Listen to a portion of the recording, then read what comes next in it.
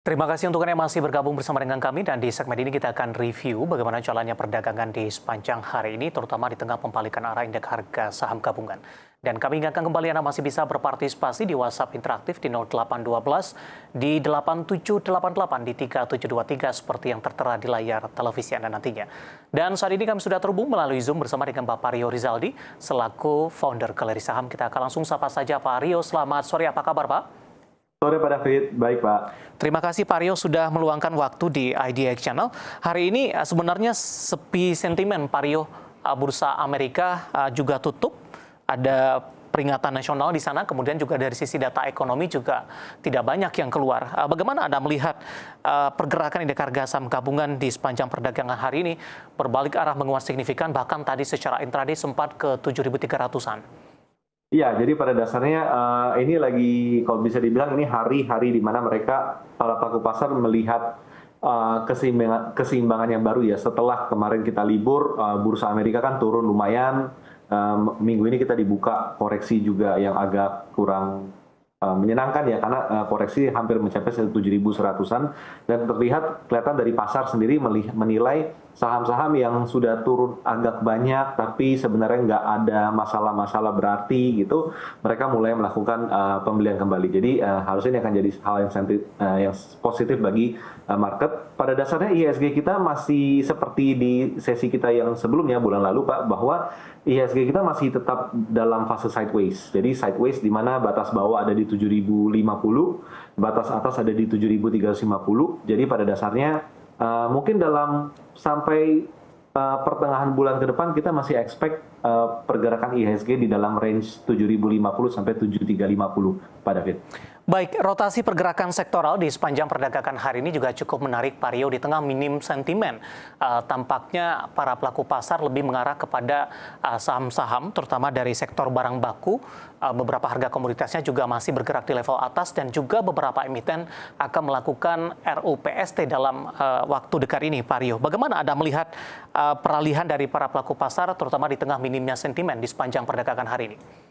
Ya, betul Pak. Jadi kalau kita lihat memang uh, kenaikan ISG dalam beberapa waktu terakhir kan memang di, di drive oleh grup uh, Barito ya salah satunya ya Barito di sana. Uh, memang kemarin ada sempat pergerakan yang cukup tinggi di saham aman mineral tapi pada dasarnya grup dari Barito. Jadi memang selalu uh, market cycle itu selalu ada. Setelah harga saham udah naik cukup tinggi mereka merealisasikan profit dan mencari saham yang ketinggalan yang belum naik. Jadi kita bisa lihat kayak blue chip lumayan naik saham-saham beberapa saham-saham uh, teknologi juga mulai bergerak naik, saham-saham berbasis bahan baku seperti MDKA, Adaro, ADMR juga ya. bergerak naik. Jadi memang karena mereka ketinggalan, um, sekarang lagi cycle-nya beralih ke mereka gitu Pak. Pada Baik. dasarnya seperti itu. Eh, dari barang baku ada aman mineral, Pak. Hari ini memberikan kontribusi yang cukup besar terhadap indeks harga saham gabungan dibandingkan dengan eh, saham-saham lainnya. Kapitalisasinya juga sudah masuk ke lima besar. Intraday hari ini di 15.000, new all time high-nya untuk aman. Namun penguatannya lebih ke arah terbatas, tampaknya para investor uh, sudah mulai merealisasikan sebagian profit mereka setelah menyentuh uh, level tertinggi tersebut. Analisis dan rekomendasinya untuk aman. Ya, jadi uh, melihat saham dengan market cap yang besar biasanya sangat sulit untuk bisa bergerak naik tajam dalam 2-3 hari uh, secara berturut-turut kalau kita compare dengan saham-saham kecil pasti bisa. Jadi pada dasarnya uh, Aman Mineral kita bisa melihat sudah mengalami overshoot, kenaikan sudah uh, relatif sudah exhausted. Jadi kita expect akan terjadi konsolidasi dulu dalam beberapa waktu ke depan, Pak. Tapi memang karena kenaikan yang sangat tajam, kita belum bisa menemukan level support dan resisten dalam jangka pendek yang cukup dekat dengan level sekarang. Karena kalau secara teknikal kita bisa melihat sebenarnya support yang paling kuat yang terdekat di aman adalah yeah. level gap yang terbentuk di hari kemarin 27 Mei itu okay. kurang lebih gapnya di kisaran 10.900-an. Dari profil risiko, Pario kemudian juga valuasinya sudah sangat premium ini.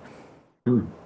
Ya, jadi kalau melihat dari concern dari valuation juga, jadi pada dasarnya yang punya lebih baik untuk profit taking, tapi kalau yang baru mau beli pertama kali, ya. apalagi yang pertama kali, mendingan uh, tunggu dulu ada konsolidasi dan rasanya mencari sektor lain yang lebih yang harganya belum banyak naik juga akan lebih menarik, Pak. Baik, selain dari aman mineral, dari barang baku, hari ini MDKA juga mengalami lompatan yang cukup signifikan, Pak Rio. Dan kebetulan juga ada pertanyaan masuk di WhatsApp interaktif kami. Saya akan coba cek terlebih dahulu. Uh, dari oh tidak menyebutkan nama dan lokasi Pak Rio. Mohon saran apakah saat ini sudah boleh entry MDKA? Analisis Anda, ada peluang profit taking tidak dalam jangka pendek untuk MDKA Pak Rio? Ya, jadi kalau untuk beli rasanya agak riskan karena MDK ada resisten cukup kuat di 2930 sampai 2950. Jadi sebenarnya ini lebih ke area sell long strength. Tapi akan menarik untuk dibeli jika MDK bisa uh, bertahan di atas 2950. Jadi harus breakout dulu dan bertahan di atas 2950. Di sanalah momen untuk melakukan pembelian khususnya kalau untuk pembelian pertama kali. Jadi untuk sekarang lebih ke sell on strength, Pak David. Baik. Dari sektor barang baku kita ke beralih ke kontributor lainnya, uh, terutama dari perbankan Big Cap, uh, Pak Rio. Uh, bagaimana Anda melihat pembalikan arah yang terjadi hari ini, di mana kecenderungan dalam beberapa waktu terakhir BBRI tampaknya para investor memposisikan hanya untuk trading saja sepertinya.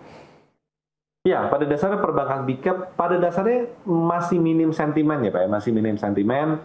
Lalu juga secara data ekonomi Indonesia nggak yang fantastis-fantastis amat, jadi pada dasarnya mungkin mereka lebih mencari yang lebih hot istilahnya, yang misalnya bahan baku komoditasnya lagi tinggi, atau misalnya ada sentimen di teknologi seperti mengikuti Nasdaq, misalnya seperti itu, uh, kelihatannya market lebih selektif mencari uh, saham-saham di industri tertentu. Pada dasar seperti itu. Jadi memang kalau kita lihat untuk saham big cap, uh, strategi lebih ke wait and see, Pak. Sementara seperti itu.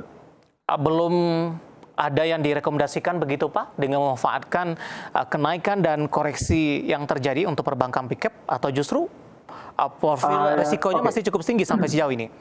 Ya, jadi pada dasarnya masih relatif masih downtrend. Mungkin yang tidak begitu downtrend mungkin lebih ke BCA, tapi itu pun kita melihat untuk BCA sendiri pembelian lebih diarahkan untuk nunggu dulu Pak. Jadi kayak BCA misalnya mungkin menunggu di level 9050, 9075 akan lebih baik daripada membeli di level sekarang. Karena memang terlihat bahwa flow-nya itu belum positif untuk masuk ke saham-saham tersebut.